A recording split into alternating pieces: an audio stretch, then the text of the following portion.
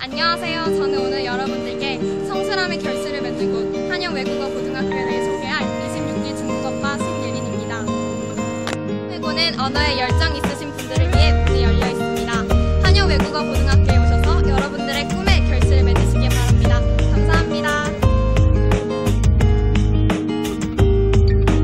저희 학교에는 총 6개의 학과가 있는데요. 각 학과는 외국어를 전문적으로 습득할 뿐만 아니라 문화재 연극과 부스 활동 등 다양한 활동을 통해 그 나라의 문화를 접함으로 한 발 더 다가갑니다. 학습뿐만 아니라 창의적 체험 활동 시간에 이루어지는 동아리 활동, 점심 석식 시간을 이용한 운동부 또는 음악부 활동을 통해 전인격적인 인재를 양성하는 프로그램을 제공합니다.